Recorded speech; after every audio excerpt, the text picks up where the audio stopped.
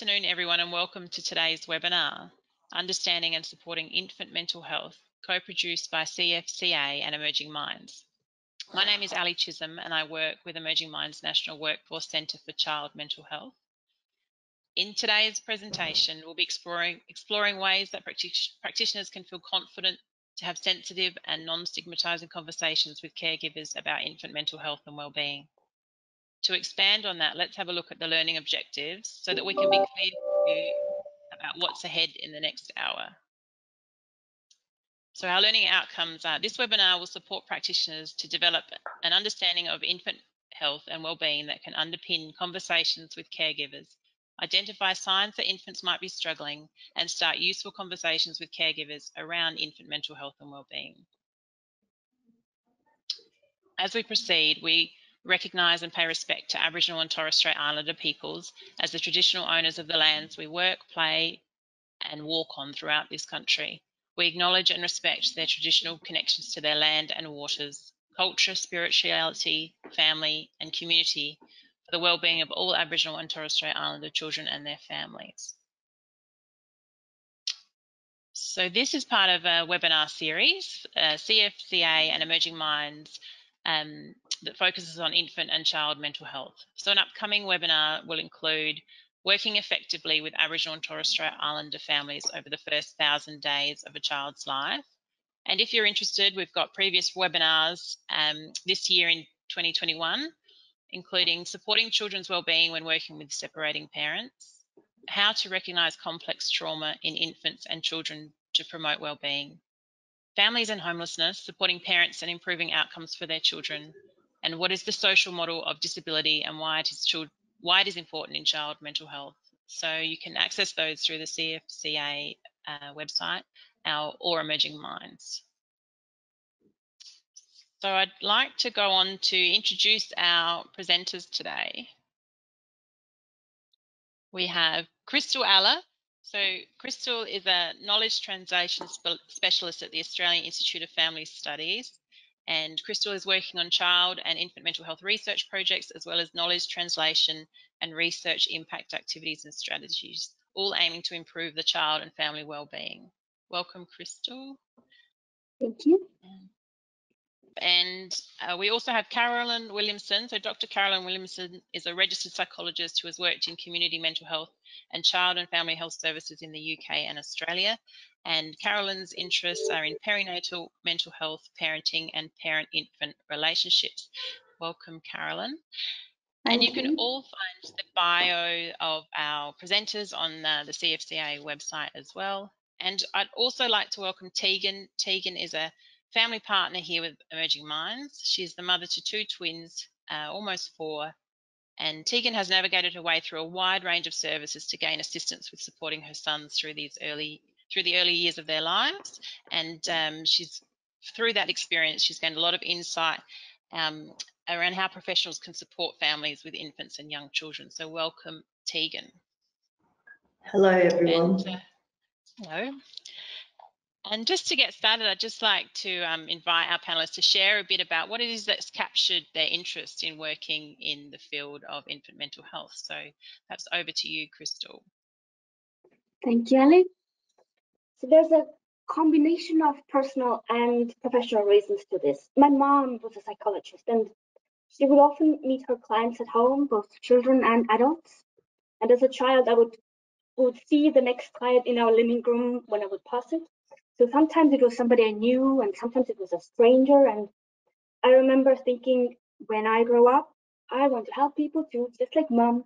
And then at first, I did not consciously think that I would work, want to work in mental health, particularly because mom advised against it. She said, when you grow up, you can be and do anything you want, except do not become a psychologist. It's too hard, too hard. So um, as an adult, adult, I dutifully tried to stay away from mental health at first. I got my bachelor's in political science, master's in health promotion, and all the while trying to stay away from mental health but the pull was just so strong. And so by the time I got to doing my PhD, I knew my research person uh, passion is in mental health. And specifically, I knew I wanted to help children as early on as possible. So I wanted to prevent the long list of mental health and physical problems that they can experience later in life because their mental health struggles went unnoticed when they were um, really young. So as a researcher, I use different tools than my mother did as a psychologist. I use research, I use research translation into policy and practice.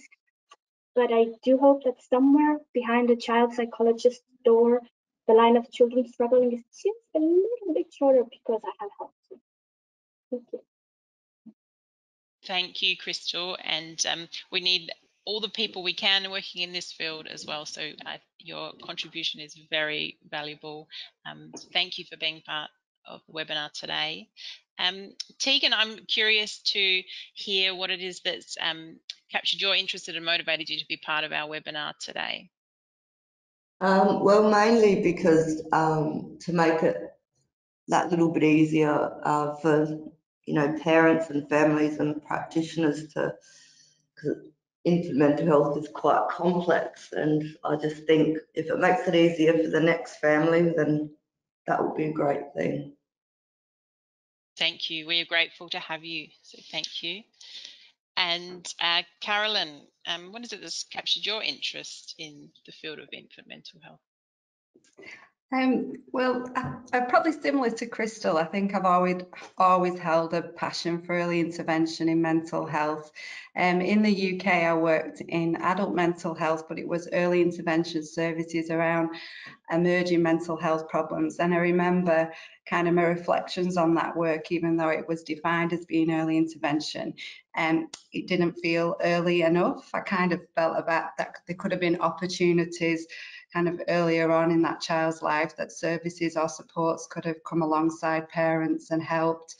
Um, so I think for me, kind of infant mental health, you're there right at the beginning, supporting that journey um, and supporting the well-being and infant mental health.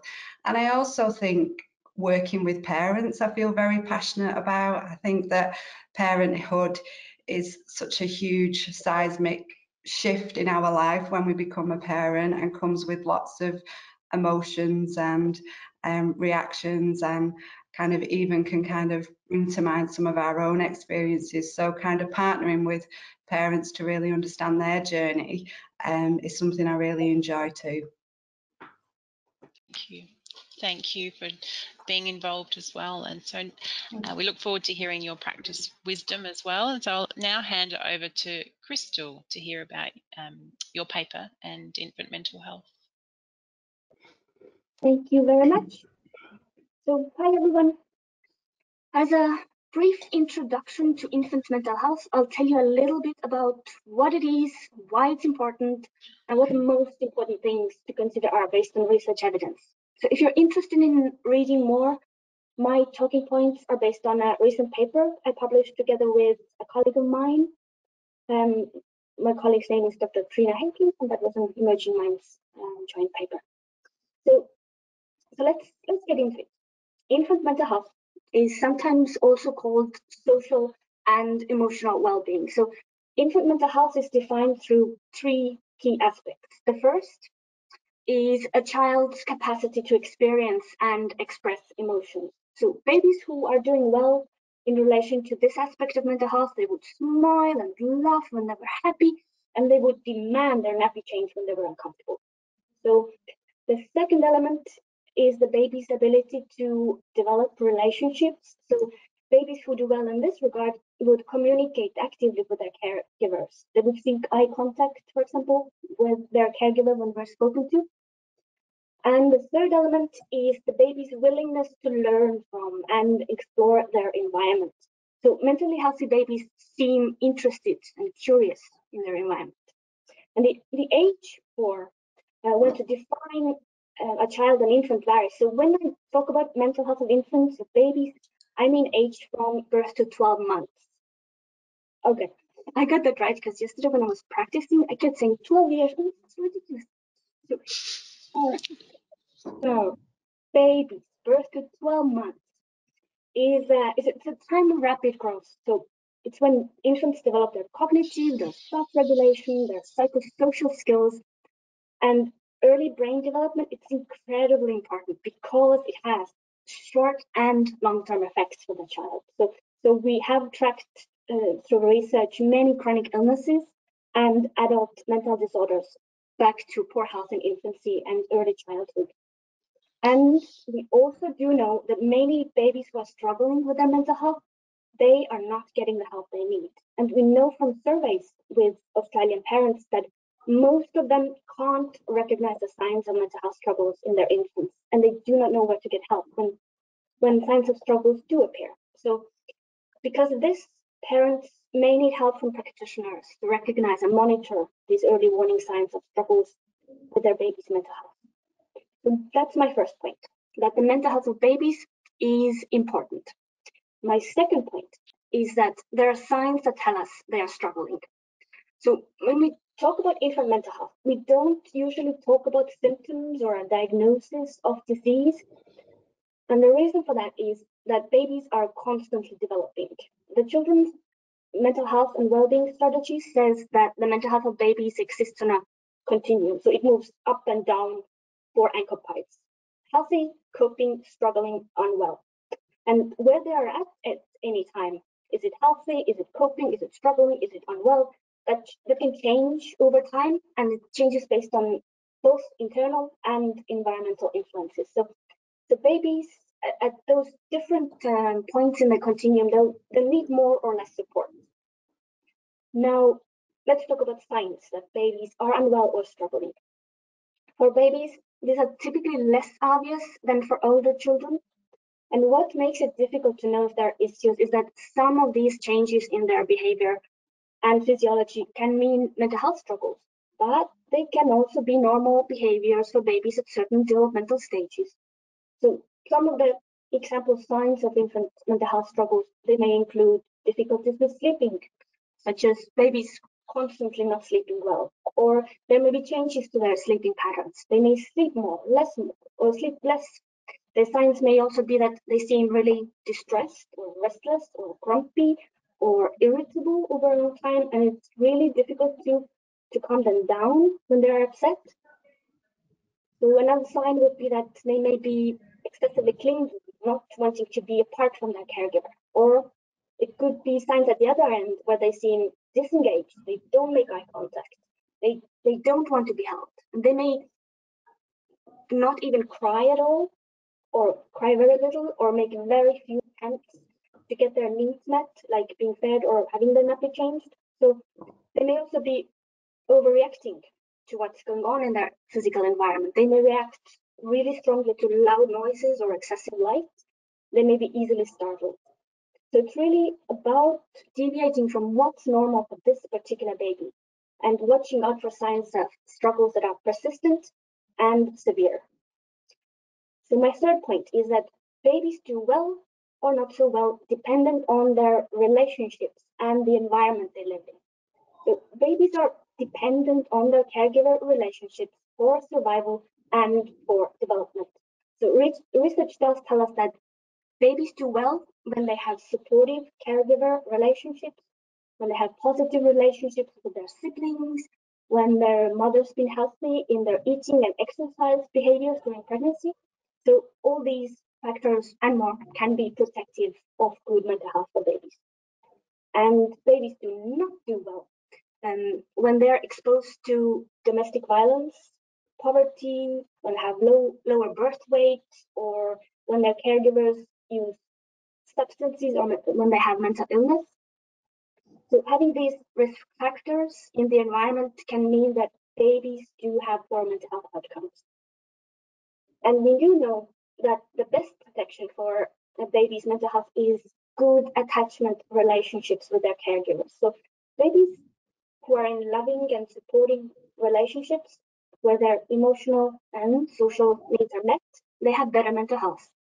So relationships that are the at the other end of the spectrum, those are abusive, those that are neglectful, where caregivers are unavailable or unpredictable, babies tend to have poor mental health.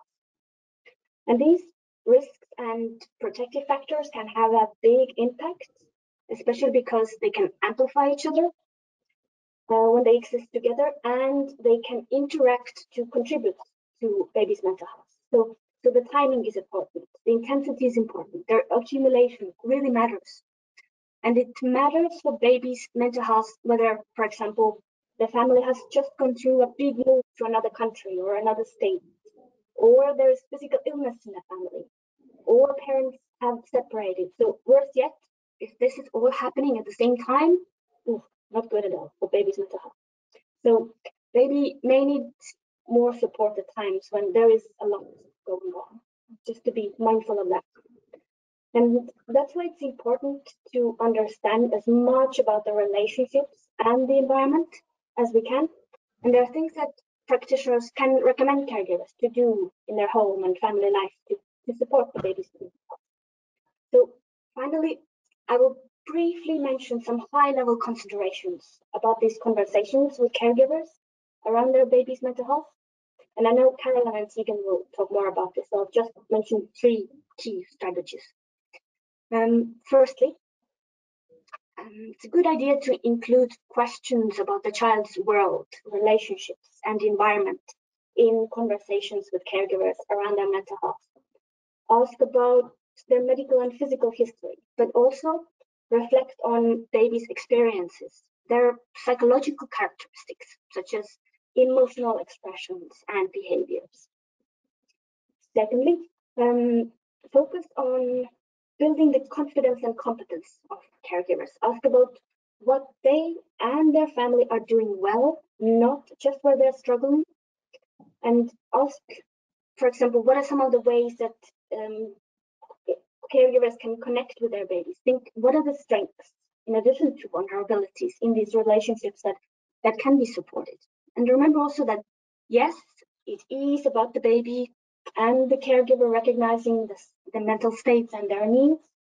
However, what is needed sometimes may be also helping the caregivers understand their own emotions and their own reactions in their relationships with their babies. So thirdly, one another helpful strategy may be to teach caregivers how to communicate with their baby in consistent and nurturing ways. And this could include simple tips and tools like showing the caregivers how to promote a two-way conversation by repeating the sounds that the baby makes and using a calm and soothing voice when they are upset and just gently rocking them for comfort. So, or, or even simply smiling back to the, to the baby to tell them that they're special and, teach, and that teaches them that a caregiver can be trusted. And, and there are several small, simple ways uh, that can be used to build a loving and responsive relationship this way. And before I conclude my presentation, I'll summarize the three key messages I'd like you to take away from, from the presentation. So these are mental health of babies is important. There are signs that tell us that babies are struggling and need support, so watch out for these. And mental health of babies is dependent on their relationships and the environment they live in. So, so to support them, we really need to look beyond their medical history at the relationships and the environment. So if you do want more information, have a look at our review paper. There's a link in the handouts. And the Emerging Minds also has many excellent resources on infant mental health on their website. I know Carolyn and Tegan will give you more context and in-depth information about their experiences with supporting with mental health. So I'll now hand you over to their capable hands. Thank you. Thank you, Kristel. That's great. And yes, um, just in reference to Kristel's paper, there is a paper on um, why is infant mental health important you can find on our um, website. And so now moving on, we're going to invite um, Tegan to share uh, some insights from her experience um, around the importance of infant mental health. So welcome, Tegan. Hello, everyone. Um, my this is just my understanding um, and supporting infant mental health presentation. Um, my twin sons were born premature with a low birth weight and the smallest of two was transferred back to the NICU on oxygen and he struggled during their two-month hospital stay. Um, he was still gavaged, fed and struggled to feed until 48 hours before he came home. Sorry, the hospital removed the tube to get him home because his brother had been ready for weeks and I wanted the boys home together.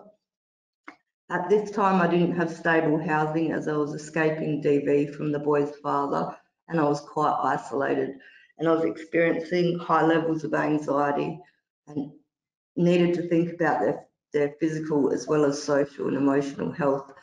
So obviously I was looking for support from any services that were available. I was experiencing everyday stress, which I now know made it harder for my children to cope. I struggled to get my youngest to feed.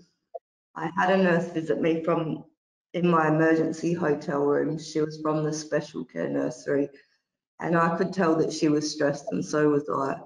She quite aggressively told me I had to formula top up my youngest as he'd only gained 10 grams in a week and his brother had gained 100 grams. It's hard to be able to think about everything that you need to when you are living in a situation like this. So I have learnt that there are many things that practitioners and services can do to make a difference for parents in a situation like I was. Um, I believe that parents' mental health needs to be a priority and taken care of first so that are able to support their children in the best way they can. As a single parent, I'm the key person who will be with them, setting them up for the rest of their life. And I'm always thinking about the fact that I am the one preparing them for well to be adults. Um, I believe services and practitioners can be so important in their approaches to helping parents and caregivers um, preparing their children for adult life. Um, because I have twins, I can see the difference as my boys grow up together, where one child is struggling in some areas and the other isn't so much. I believe it's my knowledge as their mum that is so important in letting practitioners know about what they will be working with when they support my child and our, and our family. um, when you're talking with parents and caregivers about their children's well or babies' well-being, there are some key things that can make a world of difference to us and it doesn't take much to include in your appointments and conversations. We know our babies better than anyone, so it's really important that we are listened to and believed. What are you what you're seeing in a short appointment time often will not reflect what we're experiencing for the rest of the time. Um, remember to show empathy, judgments about how we are managing whatever we are struggling with are not helpful to a parent or our children and will only make us feel more isolated than we already are. I was looking and asking for help and support and trying to do the best I could for my child who I know was struggling. I often just needed to be shown some humanity. Um, parents often need and want information so they can understand what they're dealing with. Um, for myself, I needed to learn about sensory processing, so I had the knowledge to help my son with what he was going through. And a lot of the ideas of what I needed to do weren't practical things that would work for our situation. Um, I didn't expect a quick fix, but I did, ex did expect more individualised support and strategies that helped me understand and step, and step me through what I needed to be thinking about when I responded to my son's frustrations. Um, for me, learning about in, infant mental health and being educated as a parent is something that is very important. If someone had sat me down at the beginning and talked talked to me about infant and children's mental health and well-being, it would have been really helpful. Just having the many aspects of children's mental health and the impacts of things like housing, uh, social connections, my stress levels, etc. Ex explained to me in a way I could understand would um, had saved me having to work these things out on my own along the way. Um, and this would have given me more of an understanding on how to support my son's mental health and well-being. Um, I can see that my son's frustration levels have decreased over the years, so overall the services have helped, but there have been times when I've accessed services for my son that have cost a lot of money and they were not that practical for me to put in place in our situation. Um, when thinking about supporting infant mental health, remember that there's a lot of stigma for parents looking for support. Um, so it's important, whatever reason you're looking for help, from services, parents and caregivers will obviously respond better when they don't feel judged and they feel heard. Um, I'm still going through the process of getting supports, particularly helping one of my sons, and it can be hard without a clear diagnosis or description of what he's going through.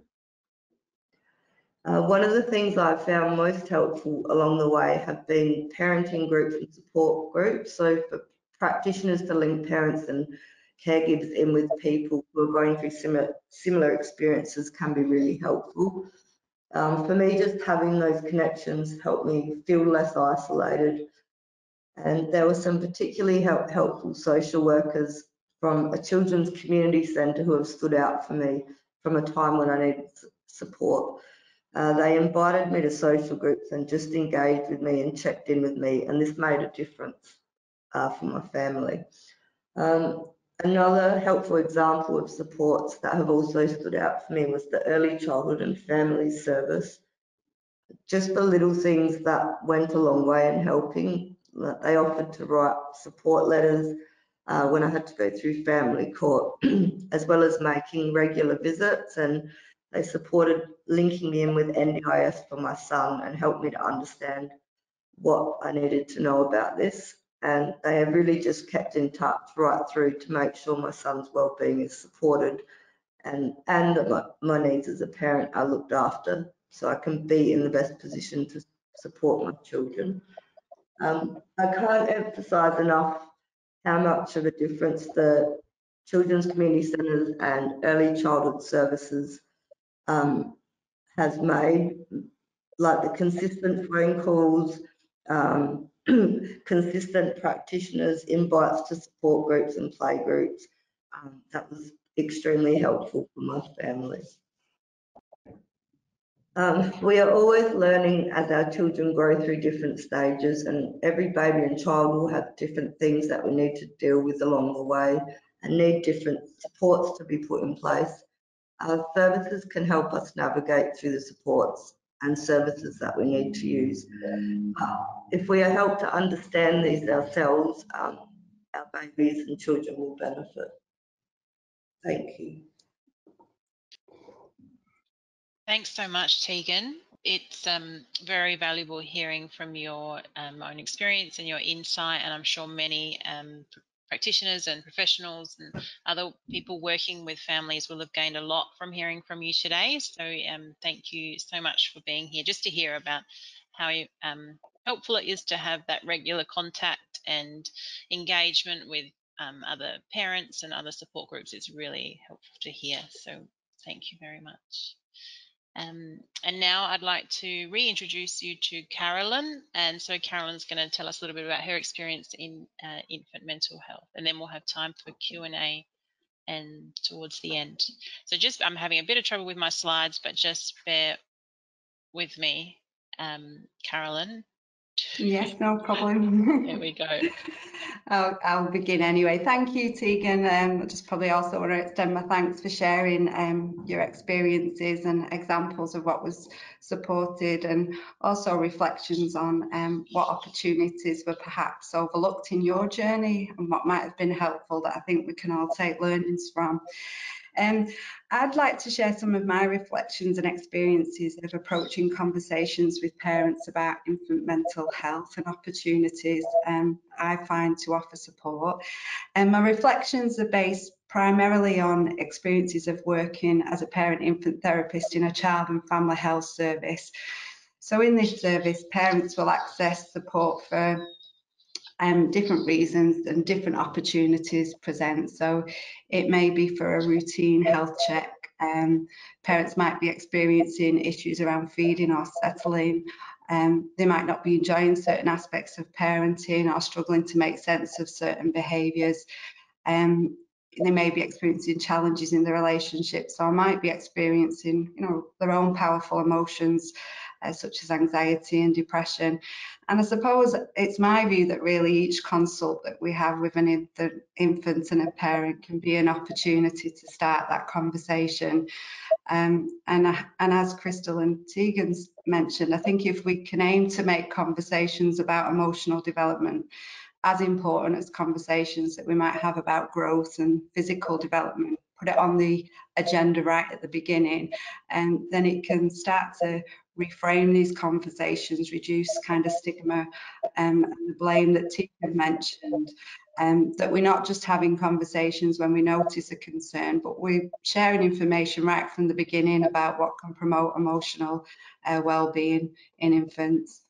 So um, the slide with the continuum on, I find that this can be a, a really useful place to it, um, start with families and introduce this visual image um, about infants' emotional well-being being on a continuum. Um, because I think it really normalises the idea that for any of us, for each of us, including babies and infants, that mental health and emotional well-being isn't a static position. We're not either well or unwell, but rather our position on the continuum can change over time.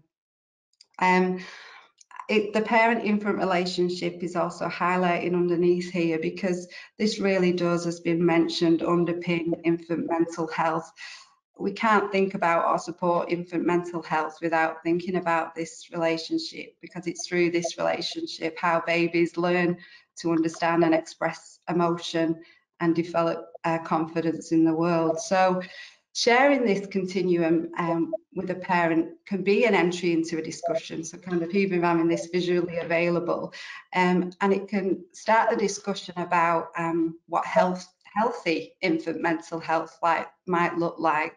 So we might start to think with parents about areas of an infant's life, such as um, sleep, um, activity level, uh, feeding, emotional expression, and um, interest that they show in the world, and think about how each of these areas might look for babies when things are going well. Um, and as Tegan mentioned, I think we're bringing together then the parents you know, observations about the uniqueness of their child, what they notice, and also joining that and sharing what we might expect to, to notice. So we're coming kind of from sharing knowledge about that really. Um, and then that conversation can, that reflective conversation can, can continue.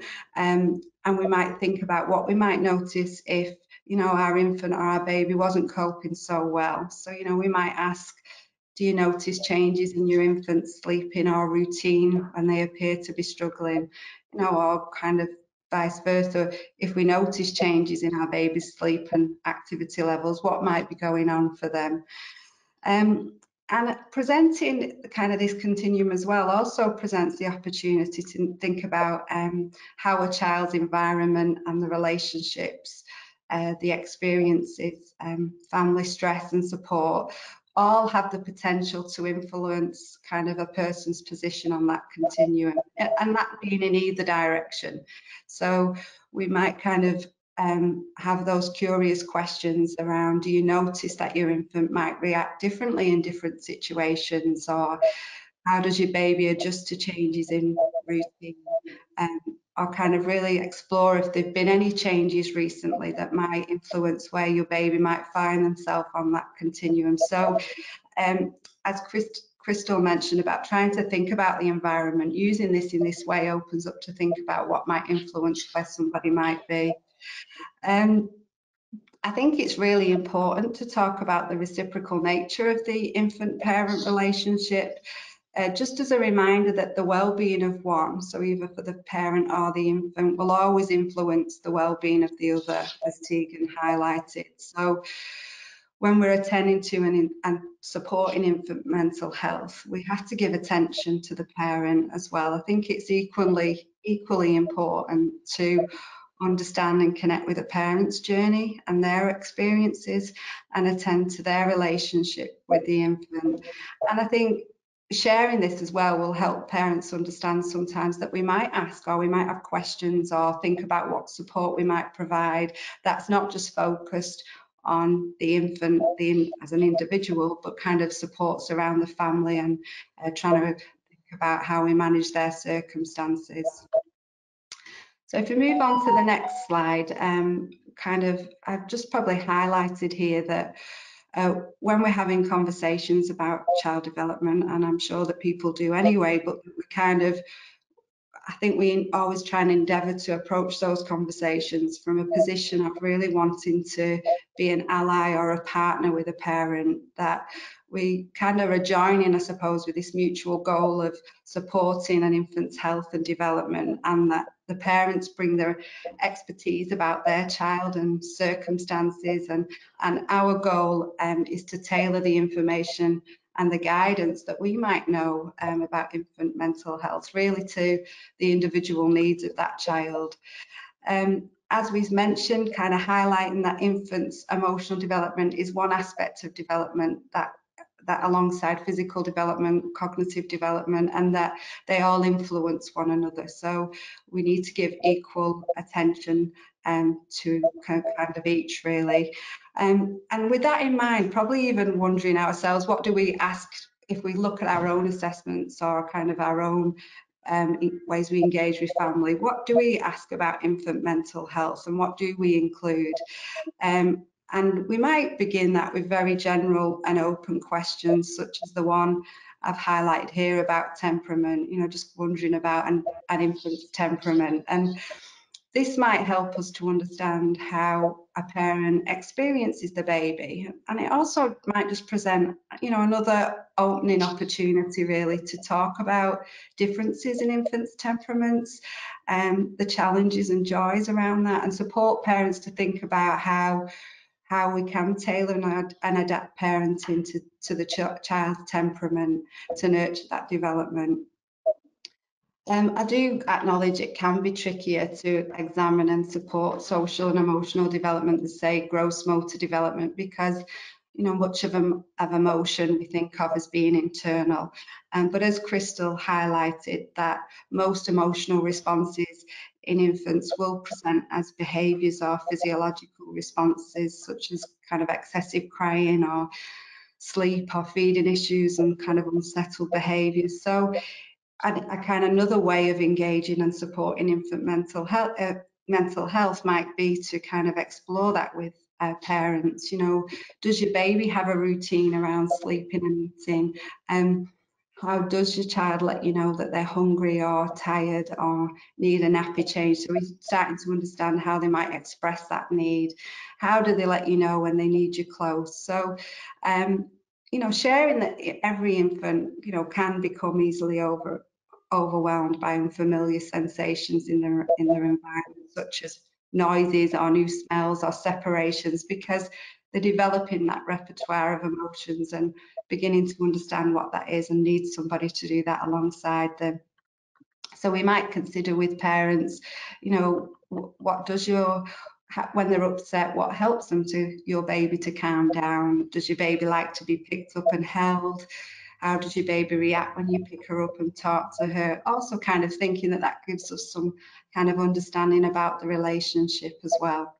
I've stressed here again the importance of the parent-infant relationship that I realise I'm kind of coming back to through, throughout, but I think we it's it's how in, infants come to understand and the world understand themselves and the world around them. So if we can spend time exploring this too with parents, you know, we might gently explore what's it like being a parent to to this particular infant and what do you enjoy the most and what do you enjoy less.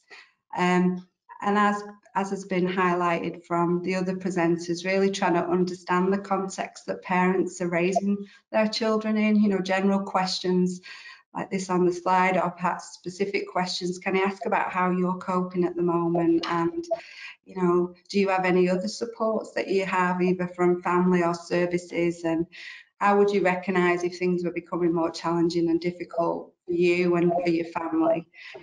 And so if we move to slide four, the next slide, we've we've thought about laying the foundations for supporting infant mental health. And I suppose what we're really highlighting is supporting parents to think about their baby as an emotional being that needs help and guidance to make sense of emotions and learn to regulate emotions.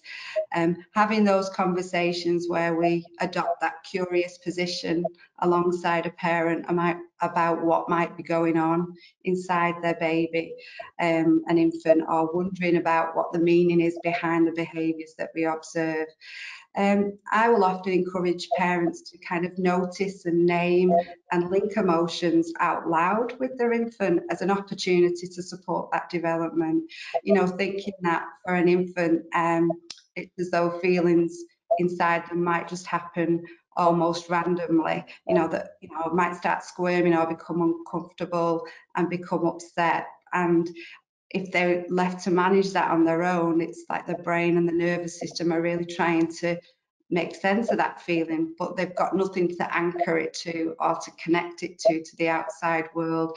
And often automatically as parents, we will make that link, you know, we'll kind of recognize it and maybe think it's a nappy change that's needed or that they're cold. But if we're able to kind of say that out loud, that we're noticing it, that we're, oh, you're upset now, and oh, let's, you need a nappy change, then it begins to help infants to kind of um, recognize emotions and anchor it as well to some, make sense of and the meaning behind their emotions. Um, as has been mentioned, kind of another um, way of providing support might be around pro providing practical support and guidance around establishing routines um, with parents. I think as Tegan highlighted, I think if we've set the foundations of trying to understand um, an individual's uh, the individual infant and their circumstances, then we can tailor that support that we provide. But we might encourage parents to talk to the baby about their routines, talk about what they're doing in the moment with the baby to help them prepare and support them to feel secure. Know, I'm going to pick you up now, or let's put you in the chair, so that it's preparing them and you're naming what you're doing um, supporting parents, similarly supporting parents to talk to the babies about the new sounds and experiences and, and letting them know what they're hearing and noticing, just reminding them that they maybe need to stay very close at first as they warm up to those new places um, so that they begin to feel safe and secure to explore the world um, you know, giving ideas around age appropriate play and ways to connect with the baby, you know, songs and nursery rhymes, using baby names in songs to make them feel special and important, um, and connecting with community groups and support. So really becoming familiar with um, what groups are and services and might be on offer in the local area um, so that, you know, and we can link in and be aware of those services to support parents to link into them as well. Um, on the next slide, I, I, I, kind of recognise there might be times that parents might present with an issue or a behaviour that they're struggling with, and while we might kind of think about or wonder about infant mental health, parents might not um, recognise it as such or might just be looking for help to fix the behaviour, feeling really overwhelmed. Um, and I suppose in those instances, I think we need to first really hold and connect to the parents' experiences before we wonder about the baby. So I know I've highlighted ways that we might kind of curiously wonder with parents about what's going on for the child. But if we were to do this straight away in those instances and ask what do you think is bothering her, then the parent can often feel frustrated and overwhelmed or even quite anxious if they don't know and they've come to you for support. So I think it's important also to just acknowledge how stressful and overwhelming it can be when we're unsure how to respond or don't know what's causing behaviours and we might have more success in supporting parents if in these moments if we first validate their struggle you know kind of acknowledging that it's really hard work taking care of a baby and thinking about how can we help you and support you um, in those moments. And um, just continuing to explore and attend to both. And and I think once we've validated and supported parents then we can kind of bridge um, and attend to the infant and be able to wonder then about their experiences. Um, if we move along to the next slide, uh, thanks Ali. I think um, this slide on reflective uh, parenting, I think I'm just probably highlighting that I think what we have been talking about throughout my presentation is really trying to support a parent's reflective capacity, thinking about what lies beneath behaviour and what might be going on inside our baby. And and I and I feel that supporting kind of reflective parenting, as it's named here, is really our biggest opportunity to support infant mental health. Um, research has found in the first two years of life that the most important factor in a child's development was how well mothers were able to interpret the baby's feelings. And this was a much stronger predictor than family background and socioeconomic status. So the better a mother was at interpreting their infant's intentions and moods, and the faster the infant becomes in expressing their thoughts and feelings through language and play. And obviously being able to do that helps them to have healthy relationships and um, in as they progress forward. Um, and I think when we're supporting reflective parenting, we're really helping a parent understand their own emotions as well, and then using this to bridge to the child and their emotional world. So supporting parents to build in a pause, if you like. So when they experience a struggle, you know, what's happening right now? What am I noticing for me and what am I noticing for my baby? Um, and then the final slide, I, I just kind of, I, I think that um, just acknowledging that there will oft, still always oft, or still often be parents and families that maybe need the support beyond what we can offer. And then our role might be to support parents to connect with other services. Um, and I think it can feel confusing enough at times for professionals to know what services are out there kind of that change month to month. And so kind of uh, I was encouraging to stay involved as we kind of um, stay involved with families while they wait to be seen by the right um, support, that we still have that role to play in continuing to promote the infant well-being through these reflective conversations and identifying and supporting the strengths in the family. Thanks, Ali. Sorry, I feel like I might have gone Thank a lot you. over there, but No, I hope that's it's great. okay. uh, so many excellent strategies to share today. So thank you for going over them. Um, I think it's really interesting to think about that continuum and when there's opportunities to continue some support for the family and some some guidance and some of those strategies you mentioned and other times when we're looking for other referral pathways if they're Mm. more struggling or down the continuum. And it's so helpful to hear that it's, you know, with that children that age, it is always changing um, and fluctuating and that that we can go as we can as adults, you know, up and down the Mm. continuum. Um, and it's obviously very contextual as well. Yes, So yeah. thank you. I'm just aware that we probably have some questions coming in, so we may um, move on to a few quick Q&A now, I think. Um, just before we do that, um, I just, uh, no, that's all, we're all good to go. We might just change the slides. Thank you. So thank you everyone for your presentations and contribution. Um, we can invite Kristel back to the screen um, and Tegan as well. So um, although we don't see Tegan uh, here on the screen, we've got her her audio. So Tegan is with us for some Q&A. And so I um, that's so helpful. Thank you to to your for your presentations.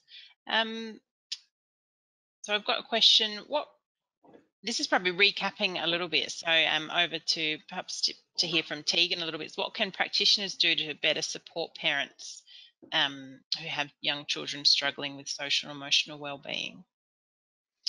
Um, I believe that um, if practitioners, were practical, um, can provide like a comfortable space for children to play in, in the appointments, so then the parents talk and the practitioners can listen. Everyone's quite, you know, more relaxed, um, and that no matter what the issue, whether it be a child not sleeping or behaviour, it's beneficial for the practice practitioners just to listen, whatever the parents' concerns are, and to continue to follow up and engage with the family. Um, maybe have like a block of appointments, much like a physio or mental health care plan block, so it's like the same person that you're seeing overall. Um, and then in this time, the family could build some trust and rapport with the practitioners um, and the practitioners can get a whole approach of what is really happening with the um, families' lives and whether it be clinical, social, emotional, all of the above. So. Mm, yeah. Thanks, Tegan. Thank you. Um, and I'm just thinking, so this webinar, people who have joined us today may um, be just wanting to start, show some interest in the field and to start to develop their um, professions or maybe further down and experienced in that. So I'm just wondering from um, your paper, Kristel, did, was there uh, some strategies for practitioners that are wanting to start to explore and support infants in their work with families? Something came out of your research. That's a great question. You. One easy step is to seek more information. There, there's there are actually lots of resources available that also links to the resources uh, for more information in our paper. So there are links to online courses, podcasts, more webinars. Um, there's, there's lots of um, useful useful links and, and sources on the Emerging Minds website. So I guess another step could be to reflect on the different aspects of, of the practice that may support better outcomes for referrals and also for caregivers self-care. So, so thinking about things like um, so how, how to tap into those networks of support. How do I how do I focus more on infants and engage families in my practice? How do I, um, in my assessment processes, support um, consistently asking questions about babies' social and emotional well-being, for example, and also being becoming more aware of yes, there are risk and protective factors at play um, and how to use them in initial uh, conversations with caregivers and how to use them for support. So yeah, it's it's there's a lot around awareness it can do and just you use there's lots of links and links and and uh, resources also in our paper so just feel free to use them is what I think. Thank you. Thank you.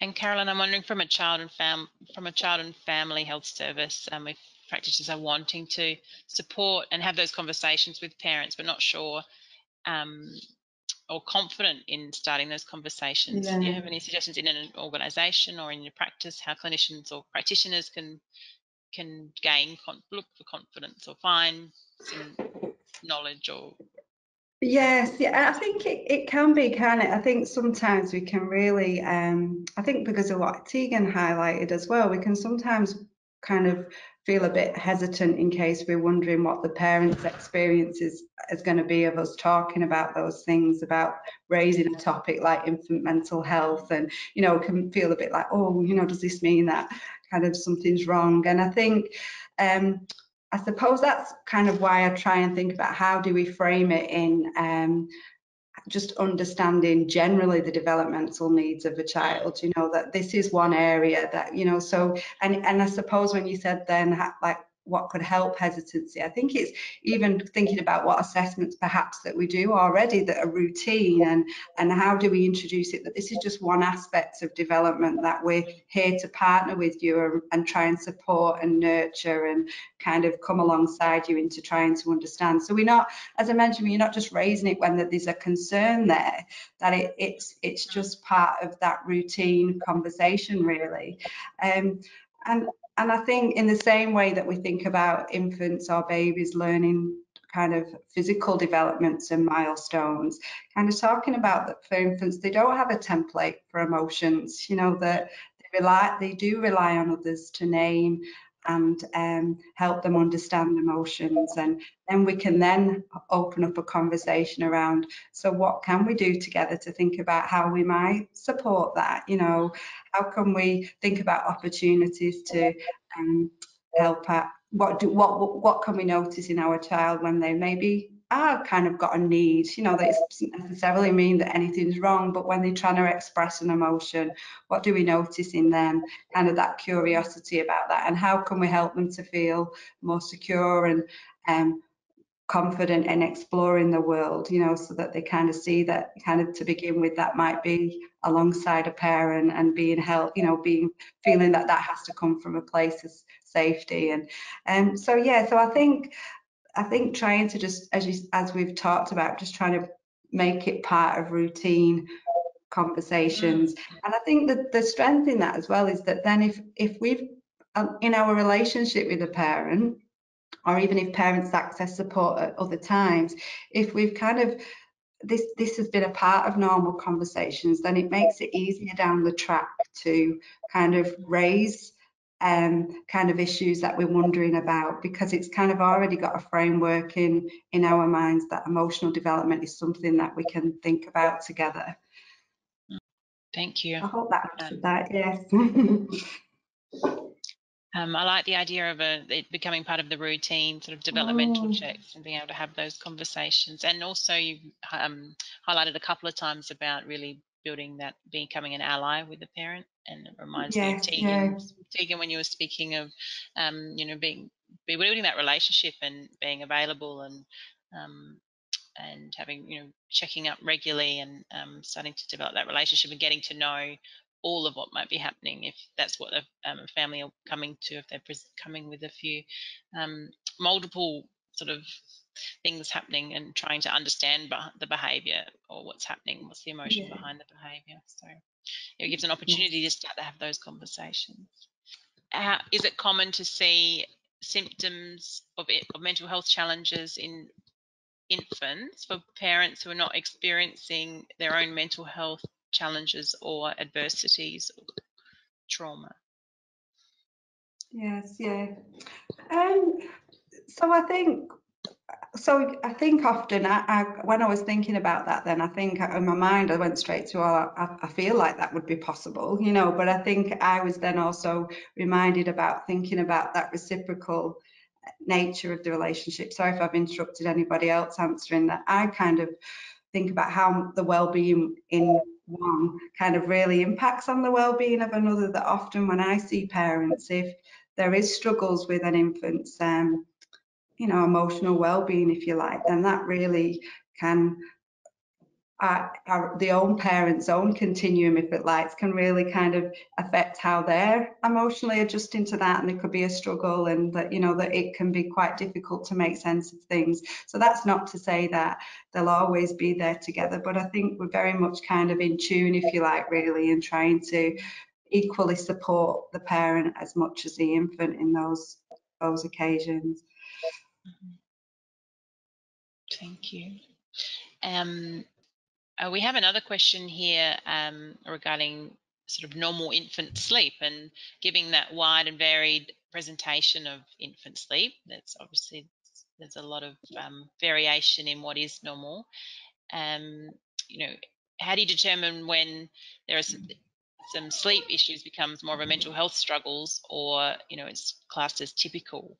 Um, I wonder, Carolyn, if you can answer that one. Mm, It's a good question because I think we often, um, you know, especially as a parent, we can can become um, quite anxious if we're feeling that um, an infant's not getting enough sleep or kind of sleeping too much. And so I think what I would probably um, try to explore, as well as kind of maybe giving information about what maybe um, sleep patterns we might notice with an infant and what routines that we might expect, but also kind of really try and understand again the parents' experience of that, kind of how much um, it, is it an issue to them? Like, what's what's their struggle with that um, sleep? I think that would help me to determine and understand infant sleeps a bit, a bit more about what's going on and um, how is this impacting on on the parent or the or the family, and kind of try and really understand and piece together the impact of um, kind of that sleep routine on all the family.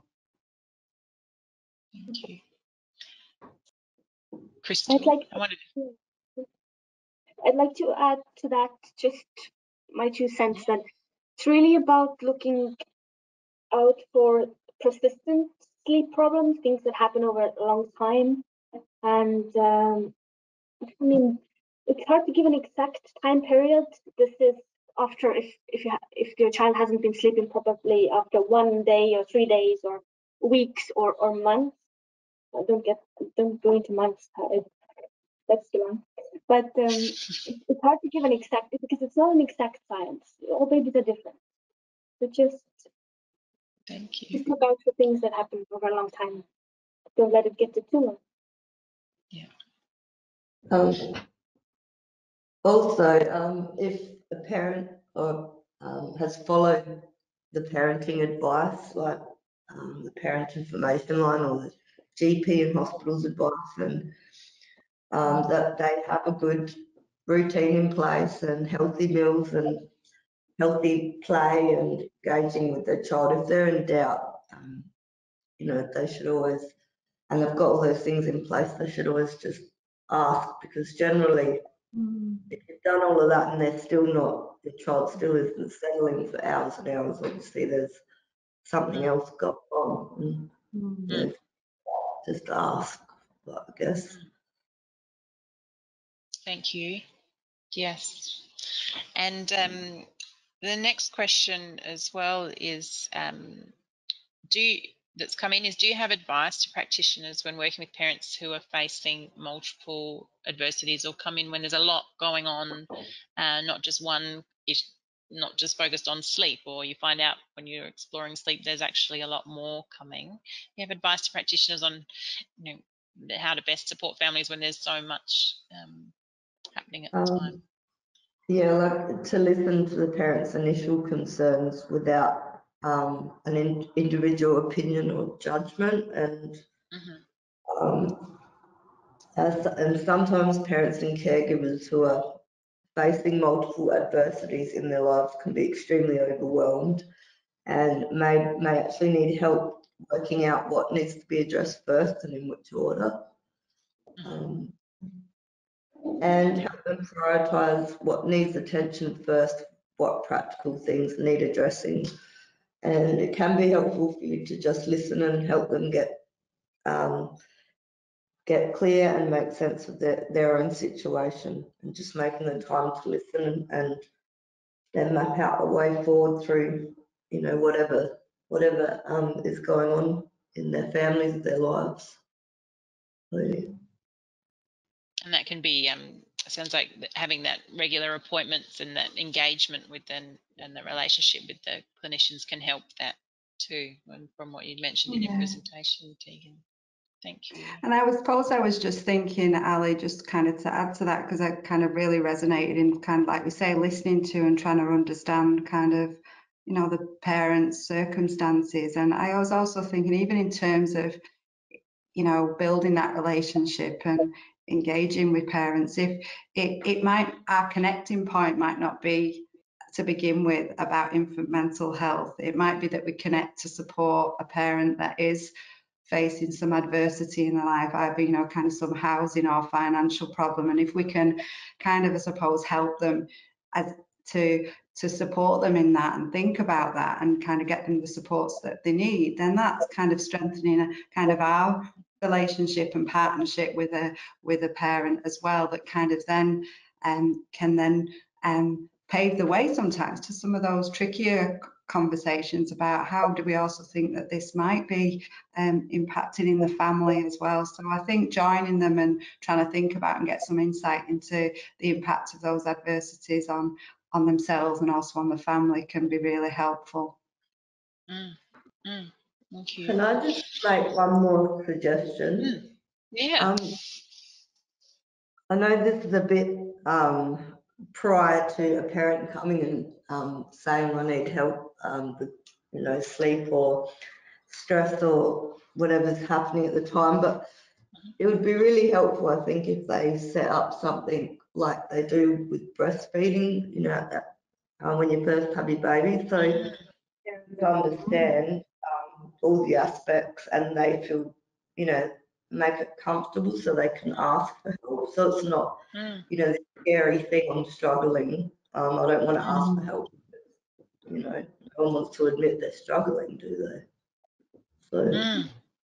what a good initiative what a good idea Yeah. normalize the sleeping support breastfeeding yeah good idea um so we have uh, time for one more question uh, before we wrap up. There's a lot of questions have come in around ask people asking about tools. So, what emotional uh, well-being screening tools can practitioners use in practice for infant mental health? If anyone knows of any to share. So I can begin with kind of reflections on kind of thinking about what we use within a child and family health service. And so within child and family health, they use a, a um, an ages and stages questionnaire. Um, and interestingly, there's one specifically for social and emotional development.